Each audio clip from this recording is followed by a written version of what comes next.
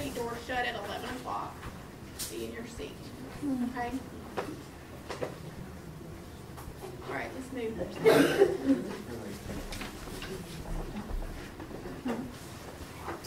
We're just hold to the rules, guys. We have to stick with the rules, so, okay? All right, so everybody ready? Okay, I'm gonna give you the results, what you should have. I know you got it right. Good job, good job, good job. Just one? Okay. So that just tells you what, that you need to study that information, right? You need to do a little study in there. So again, these are the things that you need to know. Somebody take some good notes for her. Who's her, does she have a buddy or something? Whoever's locked out, does she have a buddy? Yeah, I got Okay. Yeah, we all are. Just take some We got it. Notes for. All right, so you need to know these. Star it, write it down, mark whatever you want to do in your notes, highlight it. Okay, so let's see if we can watch this.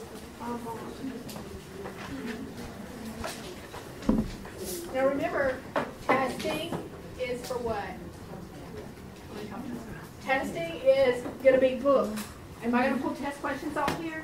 But- Shit. Just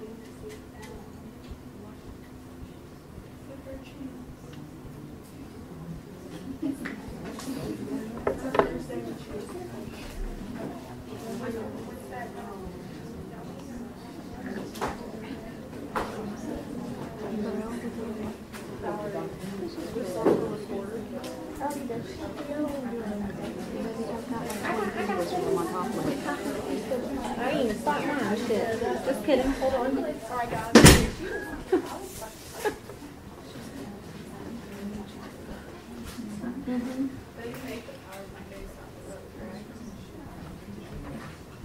The things that is important you need to know. Um, if you're asking me, can you study this PowerPoint pass the test? I'm gonna tell you no, you better.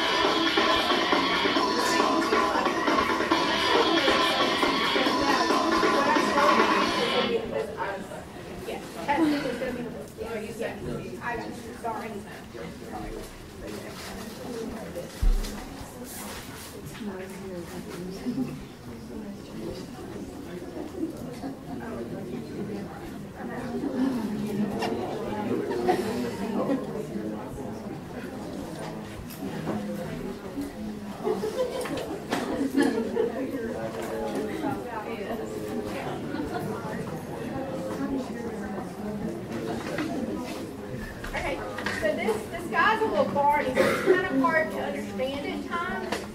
But this is a patient's actually, um, I guess, perception of what he's going through, and you're gonna see the actual bronch go down the lungs. You'll see the film, it's pretty cool. I think it's important that you know what happens during a bronch, so you kind of explain it to the patient what they're gonna do, okay?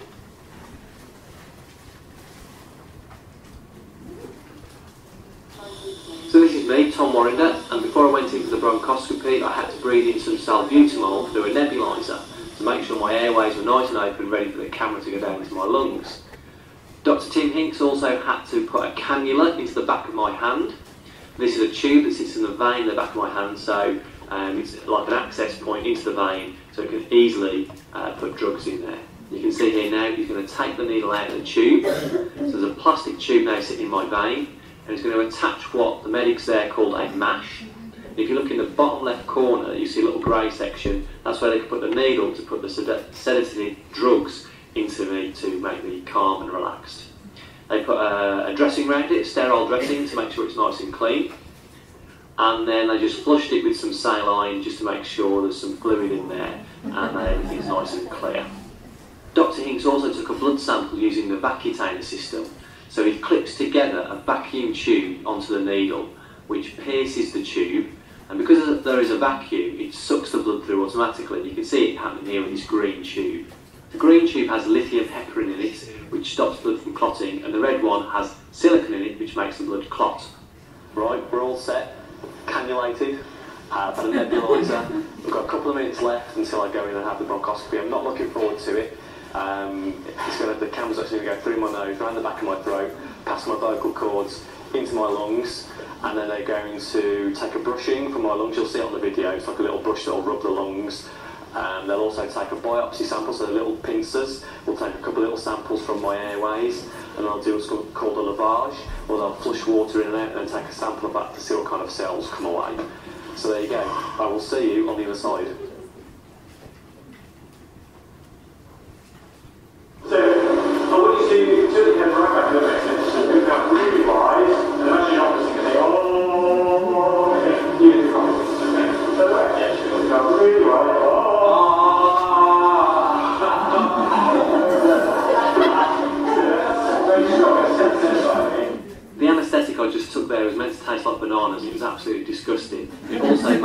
My throat feel as though it was swelling up. The next anaesthetic was for my nose, and it was just squirted into my nostrils, and it was allowed to drip back through my nasal cavity. It did sting a little bit, and you can see my eyes were squinting there. You can see the medics were, were wiping the uh, tears away because it was stinging so much.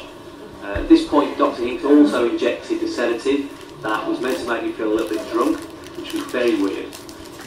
This is a still just to show you how long the bronchoscope camera actually is.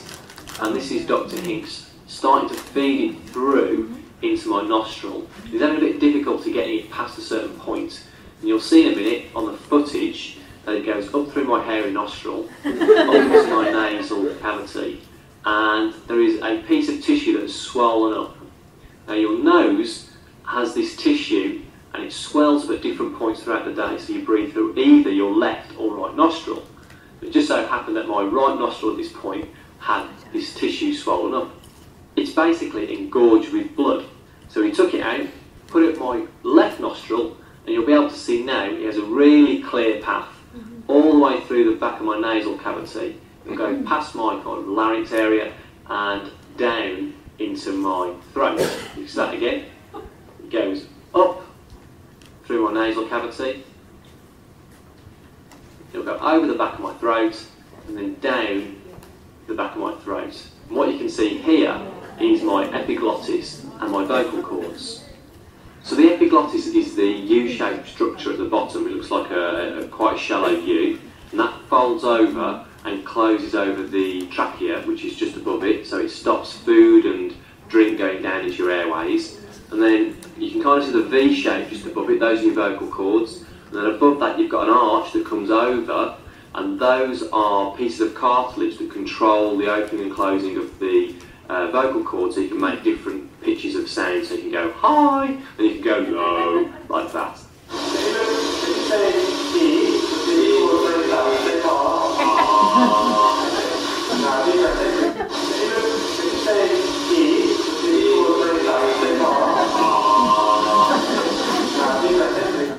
Now, because the camera's going to go down into my trachea and into my lungs, the splash you can see on the screen now is just anaesthetic that's been squirted through to numb that whole area. So once everything's numbed, the camera was put through the vocal cords down into the trachea. You can see the cartilage rings over the top, and I'm just going to pause it just here. And you can see the cartilage, the C-shaped cartilage rings going over the top. So the top of the screen is where my sternum would be, and at the bottom, where the rings disappear, that would be where the esophagus goes behind the trachea. So we approach the, the first split into the bronchioles, and you can see you'll go down the left bronchiole, and you can see there's still cartilage rings around this section of the bronchioles, and then you can start to see where they see where they split into like the primary, secondary, and tertiary bronchioles. So these get smaller and smaller and divide into more and more sections. They also take the uh, airways up into different lobes of the lung, so the upper, middle, and lower lobes of each lung. See they're nice divisions. You can see all the separate bronchioles going down further and further deeper into the lungs.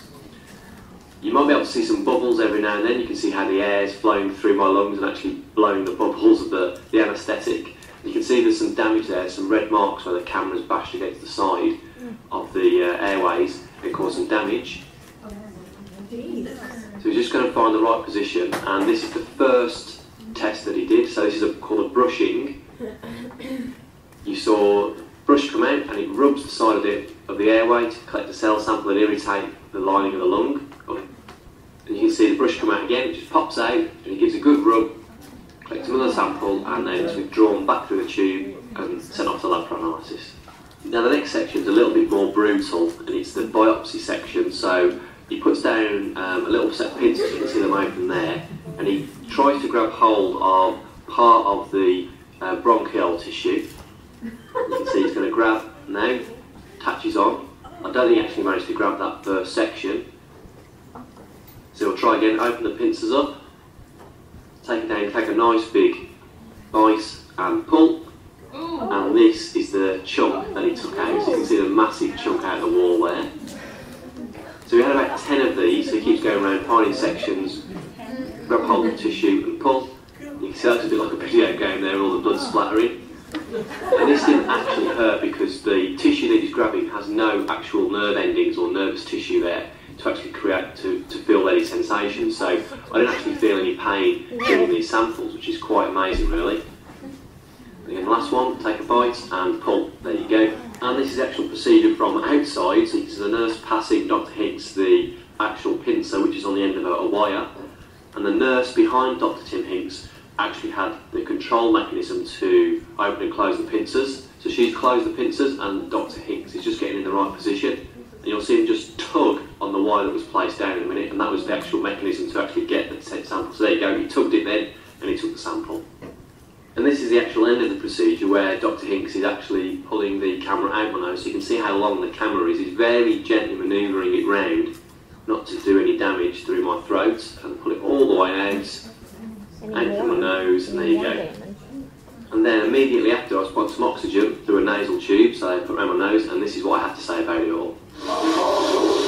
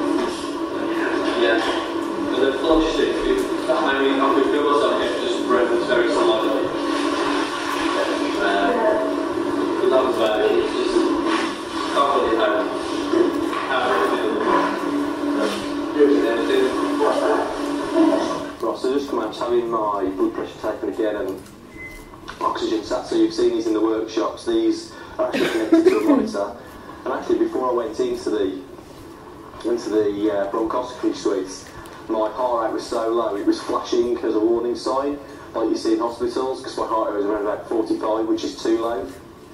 So if I was in a, a casualty unit, they would be going, "What's going on?"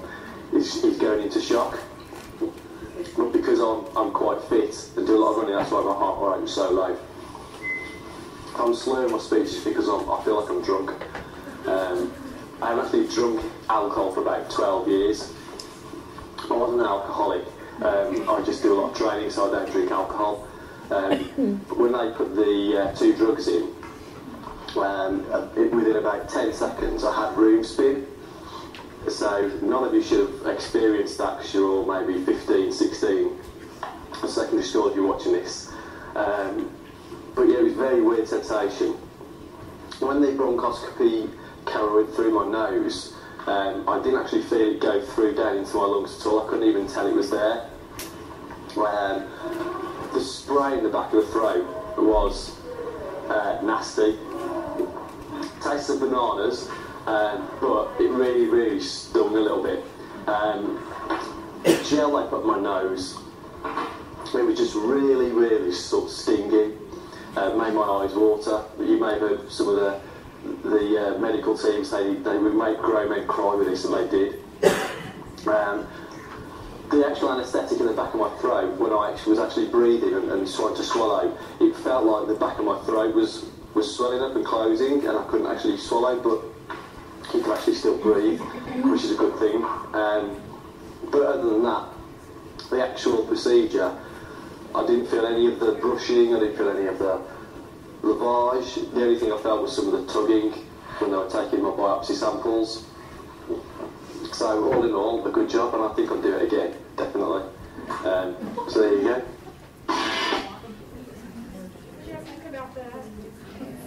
What do you think about that? So what y'all get out of that? It's not as painful as it looks. It's not as painful as it looks. Yeah.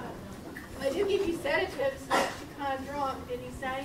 They Yeah. also spray that stuff in your mouth that like deadens the vocal cords or numbs them. I mean, they put the gel in the nose. So you're getting this patient back from this procedure. They're coming back to the floor. Um, what is something that you, what are the things that you have to do with this patient? Monitor their Aspiration. oxygen. Monitor Yeah. for aspiration. Why? Because his throat's numb. Because why? His throat's numb. His throat's numb, right? So we're gonna give him some water if he's thirsty? No. No. No, no. So what would we do before we give him some water? Check his gag. Check his gag reflex. Check his gag reflex. And then are still, are we gonna give him some water still? What are we gonna do? Look at our physician's orders, right? Post order procedure orders. Definitely. But yeah, we definitely would check our gag reflex. Even if physician writes to give him full, full, full liquids, we check gag reflex before we give this patient anything. Okay? Um, what are some of the problems he could have? Ooh, sorry about that. What are some of the problems he could have? Issues with swallowing. What do you mean problems you could have? Yeah. Like problems after the surgery? After the surgery. Maybe painful, maybe your throat might hurt a little bit. Reaction to the anesthetic. Okay. I'm coughing. Yeah, like increased sputum. Increased. Yeah, could it be sputum production? A little bit. And there was some, the other thing was pumped Mhm.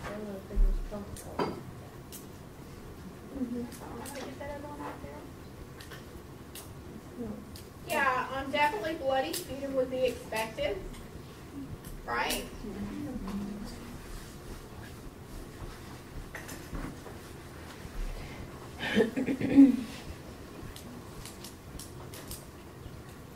What do you put PC on there?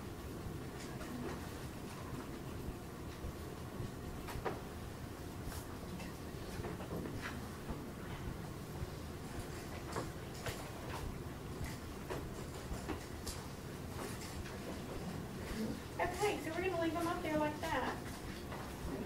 Okay. We'll figure it out. We'll figure it out. Y'all can see it okay?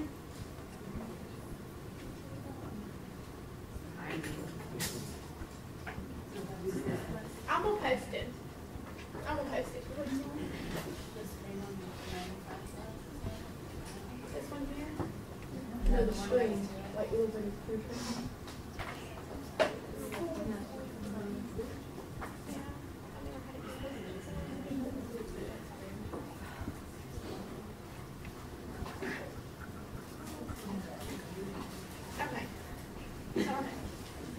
All right, so when they come back from the procedure, bloody sputum is to be expected, a little bit of bloody sputum, but we don't want them to have massive amounts of bloody sputum. Okay? Because they, they could rupture something and bleed out.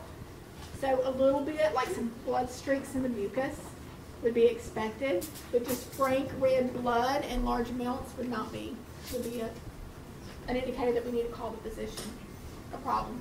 So what about bronchospasms? Yeah. Yes. So what's so dangerous about bronchospasms? Yeah. Closes the airway. Closes the airway.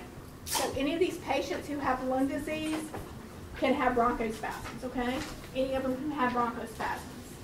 Especially dangerous, really dangerous in bronchitis and asthma. In bronchitis and asthma. So oxygen therapy is where we're going. We breathe 21% oxygen every day. We all breathe 21%. Did y'all know that? There's other components in the air besides just pure oxygen. Twenty-one percent. So oxygen therapy is not a cure. It's not a cure, it's a supportive measure. It's a support measure for the patient to give them support until we can get them back to normal health, right? Some patients never get to that point, so they have continuous oxygen, right? Okay. So we talked about ABGs, pulse oximetry, um, oxygen administration systems. All right, the only two things that are on your syllabus right now that you need to focus on are the nasal cannula and the face mask. So that's all we're going over in class. The nasal cannula, there's tons of stuff in your book, all different things, breathers, on and on. The only two things that you need to focus on, again, nasal cannula, face mask. Okay, we'll talk about some of the other ones in we move on. So this here is just a breakdown. If the FiO2 is going to be the percentage of oxygen that the patient's getting. And then you're going to have liters. So we as nurses usually see the liter part, right? We see the liters. So do you need to know this conversion? No. No, you don't need to know this conversion. But if the physician writes for 32, 33% or 32% um, FiO2, you may get, need the respiratory therapist to interpret you, interpret that. What is, how many liters is that? Now, usually the respiratory therapist is going to put the oxygen on them, but if you're in a situation you have to do it, you know, and they write FiO2 order, you can ask, simply ask. But that's what that is when you see FiO2. It's just a percentage they're getting of oxygen air, okay? So versus the liters. So your nasal cannula goes from two to four, or two to six liters. Nasal cannula goes two to six liters. Anything higher than four liters needs humidification. Needs humidification. Why? Dries it Dry out. Dries the nose out. So I've got a patient on two liters of oxygen. They're having nosebleeds and they're dry. Can I put humidification on two? You could. With they're an order, I could. Yeah. With an order, we could. We could, but the general rule is four. Four must have it. Four and up must have it. Okay, because it's definitely it's high flow. It's going to you know dry off their nose specifically. All right, so now I have I have humidification on a patient who we'll say has four liters of oxygen on. I have humidification. I've got this water bottle over here. And I've got this line that comes off this water bottle that's bubbling. The oxygen's going through it, right, bubbling, getting some moisture. So I've got this water bottle here. I've got this line that comes off um, and connects to the patient's oxygen. It's like a Y line or a Y. Anyway, condensation builds up in that tube, in that humidification tube, right? So what do we do with that condensation?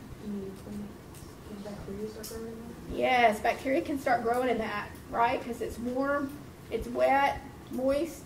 Mm-hmm. Bacteria can grow. So what do we do with that condensation? Do we hold the tube up and run it back into the bottle of water? No. Get a new tube. Usually most of those lines have like a bag that catches the condensation and it has like a little opening that you can drain it out. But if it doesn't, if you don't have that set up, which you're probably not going to see this, but if it doesn't have that set up, then you would disconnect it, run the condensation off, and reconnect it. You never, ever, ever, ever, ever, I can't stress it enough, put that condensation liquid or allow it to go back into the humidification bottle. So Because let of bacteria. You disconnect, let it run out, and then reconnect? Yes. Yes. How often do you need to do that? as often as there's, I mean, if there's a lot of water gathering up in there, you don't want water to, you know, like impede the oxygen flow. So you want to do it pretty frequently if it's gathering up there. So it's, there's no set time as to when to do it, except if you're looking at the tube and it's got a lot of water in it, just go ahead and do that. But this day and time, like I said, most of the time they're gonna have the little uncatch bag, the bag that catches the condensation of the fluid, and you can just open the plug and empty it into a container and then discard it. Okay? But if we don't have that, we're gonna just open it up, drain this, the liquid out, right, reconnect. That's what we do. All right, so humidification also is used for long-term oxygen use as well, because that stuff will dry the nose out. So one to six liters, I said two while ago, one to six liters for your nasal cannula and that's twenty-three to forty-four FiO2, what you need to concentrate is on the liters. Um, for your mask is six to eight liters. For your mask is six to eight liters. So the, the nasal cannula is lightweight, right? Mhm. And I can eat with it. If I was the patient with it, I could eat, right? I can talk. But with that mask, I can't eat and talk. I'd have to remove my oxygen source for those two things, right? Mhm. So sometimes you will see a patient that has a mask on, but has a nasal cannula at the bedside. So they'll switch them from the mask to the nasal cannula while they're eating. Okay, just for their meals and then switch them back. So you may see that. All right, so what are the nursing interventions for applying and monitoring oxygen therapy? So as a nurse, now we've kind of talked about a little bit about the two different things and you know what they're about. Um, but as a nurse taking care of a patient that has oxygen therapy, what are some of the things that we are going to have to do for that patient, or we need to do for that patient? Monitor their O2. Monitor their O2 sat. Um, watch for uh, too much What is it? oxygen. Make sure no one's smoking. We're going to talk more about that in a little bit. Yes, that Make could be they a can't next. trip over the wire. Make sure they can't trip over the wires, right? That it's free so that if they go to the bathroom, they're ambulating to the bathroom, then it's not a trip hazard. What else? Monitor for signs of too much oxygen. Monitor for oxygen toxicity. You're going to see that when you have like an FiO of 50% or greater. So that you're talking about a high flow device. Mm. Um, you'll see that. So we're not really going to get into that, but just know that there is So such no? thing as oxygen toxicity. Oxygen is a medication. It's a drug. Okay, so no. It's a drug. So we always start with the very lowest and work up. We want them on the lowest, right? Okay, it is a drug. All right, so what else with this patient? Make sure their nose doesn't get Their Looking for ears. irritation. They're very good. I'm glad you got that. If they have the nasal cannula, we're looking behind their ears, right, for breakdown. If they have the mask, we want to look around their face for breakdown, or around their head where the band goes for the mask. Um, make sure that there's no breakdown. Anything else we need to look for?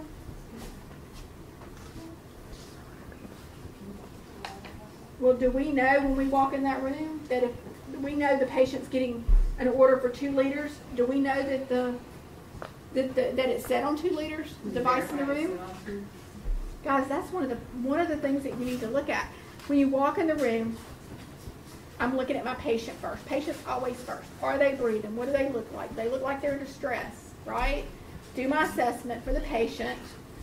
If it's a focus assessment, not only am I looking at the pulse ox, a focus assessment for an oxygen patient also should include what? Auscultation, right? The lungs. Are you short of breath? Do you get short of breath when you walk to the bathroom? Yeah, they might need to call for help. hmm Do you get short, right, ask them to call for help if they do. Do you get short of breath when you're eating? So remember that the, there's, breathing is work for the body.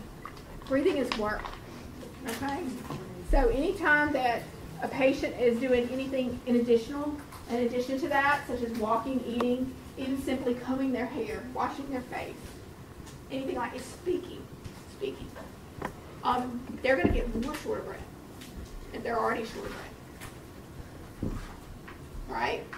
Because we think about the metabolic demand on the body. Breathing's a metabolic process, right?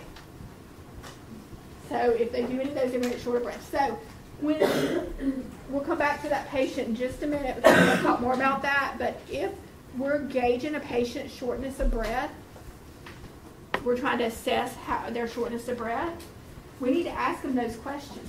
We need to observe them walking to the bathroom. So I'm not gonna send my CNA in there, I'm not gonna delegate my CNA to go assist that patient to the bathroom if I have a patient short of breath and I'm really not sure how short of breath they are, I need to gauge that. Right? Mm-hmm. I'm gonna go walk them to the bathroom, I'm gonna go in there to assist them to the bathroom to see if they're short of breath when they get to the commode, or is it when they get back in the bed, or is it not at all? Okay? So COPD patients who have had the disease for a long time, they're short of breath when they walk to the bathroom, when they get to the bathroom. So bedside commodes is some, something that we use for them. They're also short of breath when they eat. We're going to talk more about diet and how to work with that. Um, they get short of breath just simply talking to you.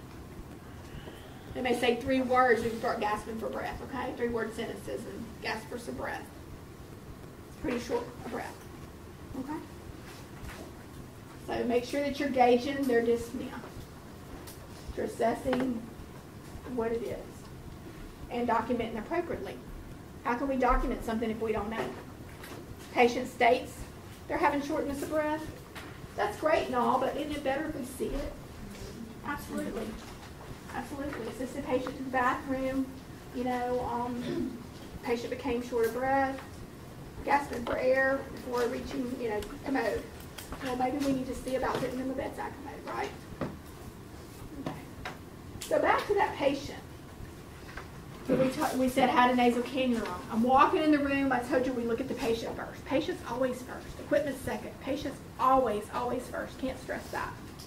Patient's always first. So looking at my patient, doing my assessment, and then before I leave that room, part of my assessment, guys, part of your assessment is to look at all the equipment in the room. What if they have somebody else's antibiotic hanging? What if they have somebody else's fluids hanging? What if their oxygen was supposed to be on two liters, but the family come in and decided that at home they get four liters, and mom is having shortness of breath, so we're turning it up to four liters. You have to look at these things. You have to pay attention to not only the patient, but the what's in the room, what's hanging. Even if they're not connected to this IV up here that's hanging, I want to know what's hanging. What, what, what did my patient get? I always look at what they've gotten. It kind of gives you a, what? The whole picture. Okay? So we talked about the skin. We talked about the wall, the monitor on the wall. We talked about auscultate, auscultating the lungs. We talked about the O2 site. If there's any ABGs ordered, I'm going to go back and look that up, or look it on the computer and see what the results were. Okay? I want to know those as well. I want to know what their H and H is. Could that be the reason they're short breath? Could that play into this scenario? This is why they're needing oxygen. Well, if you've got a patient that has a hemoglobin of seven or less, most likely they're going to be displaying some types of shortness of breath. Okay, maybe with activity, it probably isn't at rest. At rest is the most, is the worst shortness of breath. If they're at rest and they're still having shortness of breath when they're sitting in their bed doing nothing, then that's pretty severe. Mm-hmm. That's pretty severe. Okay, so what should the nurse include in home oxygen teaching? Well, we talked about the smoking part. Mm-hmm. Someone brought up smoking. That is huge, guys. Not only at home, but also in the hospital. We want to make sure the patient knows they shouldn't smoke, and the family members can't smoke either. So at home, I've done home health for a lot. I did home health for many years. Patients, we'd have patients sitting up there with oxygen on, COPDers, just a smoking. Hmm. So when I walk in the house, if they're smoking, if you don't put that out, I'm leaving, and you can call me, and I, if I can come, if I can fit it in my schedule, I'll come back to see you. I'm not staying in this house while you're smoking. Okay? Because it's not only the patient safety, but it's your safety. If they choose to smoke, um, if they absolutely have to smoke, take the oxygen off. Turn it off. Take it off. And some can't tolerate that. So they cannot smoke. They need a sign on their door. Oxygen in use, no smoking. So people don't walk in with a cigarette in their hand. They need to let their family members know as well. They need to make sure they have backup tanks. They may have a, what's called a concentrator. It's this big box looking thing, and it takes the air and it changes it and pulls it out and make and basically takes the oxygen out of the air and puts it through the tubing. It's called a concentrator. Concentrates. It does what it says. Um, this is plugged up to power, so if the power goes off, the patient has no oxygen, so they've got to, we've got to make sure they have backup tanks. If they need to go to the doctor, they can't take the concentrator with them, so they're going to need to be put on a tank for that as well. Okay, so we need to make sure that not only do they have tanks, but they have oxygen in them. They have oxygen in them. If not, we need to call or, or instruct them to call. Usually I call when I'm in the home. Um, the DME company, that's the equipment company, whoever supplied the oxygen, and ask them to come out and switch out tanks. Give them some full tanks. Alright? So we want to teach them to look at their skin, everything that we do, we want to make sure. Tell them do not turn the oxygen up. Do not, do not turn it up. Leave it on the set prescribed amount. If they're having shortness of breath, they need to call. If they have home health, they can call the home health provider. If not, they need to call their healthcare provider. If, the shortness of breath gets worse or increases. This patient, these patients with all these disease processes, guys, every single one, anybody with a lung disease are more susceptible to infection. Why is that?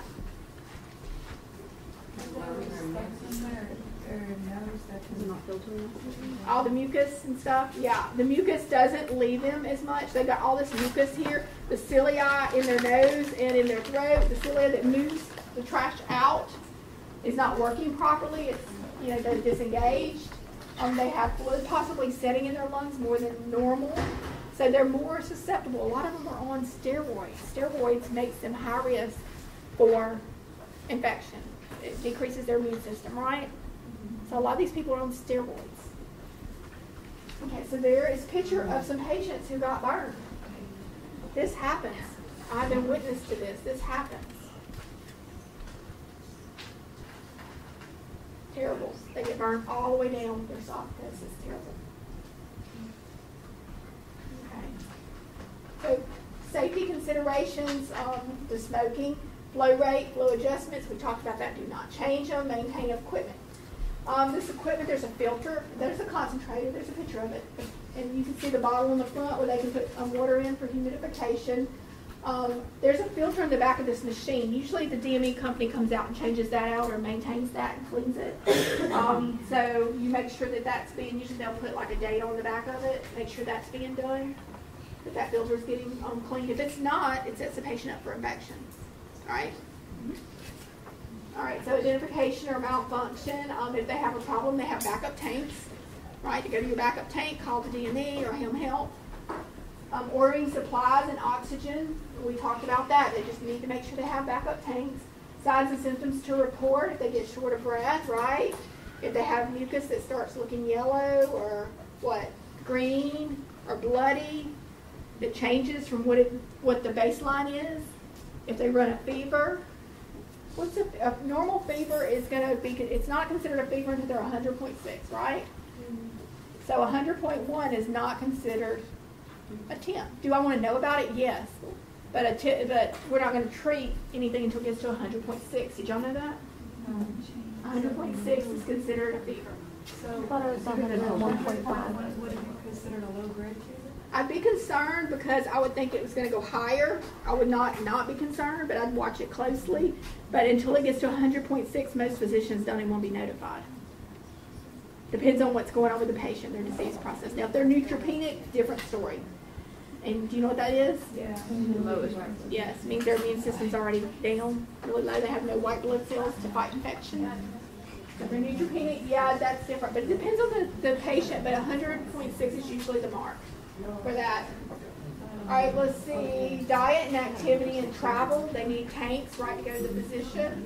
Um, activity is tolerated diet, whatever the physician has wrote for. We'll talk more about diet in this patient. Electrical outlets, um, important that they have one. A lot of times that concentrator is really, it puts up a lot of heat. So that you may want to have the, the tubing long enough that they can sit in another room. Um, is it going to decrease the amount of oxygen? Yeah, it could decrease the amount of oxygen the longer the tubing is. But if it gets too hot in that room, they can just move the concentrator to another room and have the tubing long enough. They can sit in the living room and have it maybe in the little side room or something or in the kitchen. All right, so does everybody know what an ambu bag is? I know you've had CPR, but a lot of um, students get to three and four because we start talking a lot about ambu bags and oxygenation there and don't really know what an ambu bag is. Do you know we can put oxygen through it? Okay. And you know that it's got a face mask, you see it? So if you've got a patient, we'll talk more about this in four, but if you've got a patient, you take the face mask off if you've got somebody that intubated, see this mask right here, the one without the face mask? And it would go straight to their tube, whether it's a trach or an ET tube, okay? So it's got a reservoir there, um, it's got tubing, and your face mask. And that is your ambu bag. I just want to make sure everybody knows what that is. Your incentive spirometer, also known, you might hear it called an IS. Okay, you may hear it called an IS. So what is the, what is the purpose of an IS? Increase lung capacity. Increase, com, increase lung capacity Will it help? by Spreading the air, the lungs, the. Do like exercise. open up the alveoli, right? Remember we, that patient that has COPD, we're gonna talk more about that in a minute. The COPD patient, what happens is air gets trapped in their lungs and they collapse. Little alveoli collapse. And when you have, a patient has alveoli, um, uh, atelectasis, another word to put in your dictionary, atelectasis. That is collapse of your alveoli. When a patient has that, sometimes they'll have that after surgery. You'll see it a lot of times after surgery. Mm-hmm. But just think about we put we bring a patient into the hospital and what do we do? We put them in a bed. Mm-hmm. Most of the time we tell them because they're getting pain medicine or some type of sedatives, don't get up. Like, call me if you need to get up. So decreased activity can lead to increased secretions, can lead to less airflow into the lungs, right? And we can get atelectasis, collapse of the alveoli. And when they collapse and there's no oxygen and carbon dioxide exchange anymore, nothing. So we lose that surface area, so there's less oxygen in the blood, less oxygen the body can use. Okay, so this IS helps open up and keep those alveoli open and help prevent atelectasis. Okay, so you want to make sure the patient's sitting up, teach and encourage use for sure. Use realistic goals for the patient. So use realistic goals, guys. Um, usually the respiratory therapist will come and like give us kind of an ideal of what the goal is for the patient. But you don't want the, the this patient with COPD and this patient over here that is in because they have a fractured leg are going to have two different goals. Because the COPD patient is not going to have the volume that this patient over here with a fractured leg, a young person, let's say, or even old, that doesn't have COPD or any lung damage, it's going to be two different volumes. So it's going to be two different goals. So know what's going on with your patient, set realistic goals for sure. If you're sure not, if you're not sure what to set, um, get with your respiratory therapist. This is where interdisciplinary care comes in, right? If we have a question about respiratory, call respiratory therapist or ask respiratory therapist. All right, I'm losing you, and it's getting lunchtime. All right. Right, so percussion and vibration. This is your chest physiological, uh, chest physiotherapy. Chest physiotherapy is what it's called. It's where they are basically moving secretions around, relocating secretions. Okay. And usually you'll see this done. Physical therapists, I have seen physical therapists do, but usually respiratory therapist does this. All right, so to enhance gas exchange, monitor O2 saturations, ABGs, indicators of hypoxia. Right? Any indicators? We have to say hypoxia because we're not always going to have ABGs, right? We're not always going to have, most of the time we don't have ABGs unless we're in the unit. We're in the critical care unit. Or in the ER, we might get some ABGs. But if we're on the floor, most of the time we're not going to have ABGs. So we say hypoxia because we're going to do the outer sides, right? Not the blood. So what are some of those? We said O2 sat, cyanosis. What is one of the first things you might see? What is it? Not usually the first thing. That's more later on, but it's something we're looking for. What is some of the first things? What is something you might notice about the patient? Trying to breathe, trying to get. Restlessness, absolutely. Restlessness. Anxiety, restlessness. They're squirming in the bed. They're telling you, sometimes they'll tell you, I don't know, something's wrong, but I don't know what it is. Something's wrong. You may see that before they actually start getting short of breath. I have witnessed a patient have a PE before, right before my eyes, and that was one of the first things that they said to me. I don't know, something's wrong with me, and I don't know what it is. Mm-hmm. And then it wasn't probably five minutes later, probably less than five minutes later, they were short, extremely short of breath, turning blue, and coding. Okay, so if a patient tells you something, take it to heart. You know, investigate it, figure it out, find out what's going on with them. If you think something's not right with your patient, it probably isn't. It probably isn't. Have another nurse look. Come look at the patient. Okay. I auscultate lung sounds frequently every two hours. If you've got a patient who has respiratory issues, we're gonna listen every two hours. Write that down, star it. Every two hours. Even if they come in the hospital for something else. They come into the hospital and we'll say they have cellulitis of their right foot, but they have a history of COPD. They're on oxygen, they're getting steroids, they're getting bronchodilators, but that's not why they're here. It's not exacerbation of their COPD. They're here because they have cellulitis and we're treating them without any antibiotics, right? You still need to assess this patient every two hours. They're, they're breathing. You still need to assess them every two hours. Listen to them every two hours. Okay? So monitor fluid balance, important to do, because especially if they got mucolytics on board. Remember we talked about that, lots of mucus and mucolytic drugs. Then without fluid, we're not going to get that secretions up. Um, if they're CHF, sometimes they'll have heart issues, and we're going to talk more about that. Use a collaborative approach. Use a collaborative, we said that, interdisciplinary, collaborative, same thing. Use all of your entities, social worker, dietitian, respiratory therapist, right, nurse practitioner may be involved, physician, all of them are interdisciplinary. They're treat, treating this patient. We're all going to talk to each other. We have to talk to each other. We're not in this by ourselves. It's a team effort. Okay? Okay, promoting effective airway clearance. So, enhancing gas exchange is similar to promoting airway, right? Effective airway clearance. So, except when we say um, when we say airway clearance, we're talking about getting mucus up, foreign bodies, those kind of things that might be there. Okay, we're talking about that. Um, also, with an asthma patient, that clearance might be that we need to give them some steroids, right, or a bronchodilator. Ensure adequate fluid intake, humidification, medications. Um, we're going to go more in depth over the medications, okay? These are some of the ones we're going to look at. Mini nebulizers. How many of you have done a nebulizer? A few of you may have. So as nurses, we usually don't have to do that, but there have been times that the respiratory therapist has gotten in it tight. Um, had maybe some patients in the ER, a patient on another floor coding or crashing. Nobody was available, and my patient needs, they're having shortness of breath, they need their bronchodilator, their breathing treatment, their, their um, uh, they need their medicine, albuterol, that's word I was looking for, albuterol. They need their albuterol now. But I've never done that before. It's important that you know how to give a nebulizer treatment. So how am I going to do that? I'm going to read my book, mm-hmm. under nebulizer treatments. But when I'm at the hospital and clinicals and I see the respiratory therapist and they're going to give my patient a nebulizer treatment, I'm going in with them.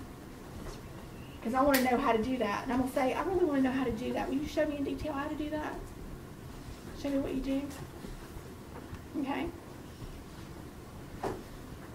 So, if there's something you want to know, ask, guys. Ask. If you're not sure about something, ask.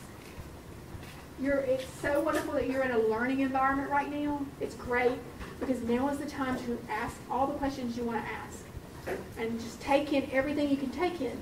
Because when you're a new nurse on the floor and they say, here's your four patients to take care of. Do I have a lot of time to learn? And I have four patients, maybe five, maybe six. I'm going to still have to learn, but I'm not going to have a much less time. So just learn everything, just soak it all in. Everything that you can take in now, ask questions. If you see something going on in the hospital, you see some physicians going down and they have a tray or something in their hand, talk to them, see where they're going. They may be going to do a thoracentesis at the bedside. They do it at the bedside. Okay? So make sure you read over your nebulizer treatments.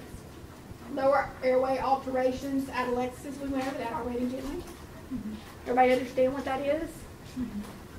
I don't think we need to go over again. Make sure you put that in your um, your words, you know, definition, and look through that in your book, okay?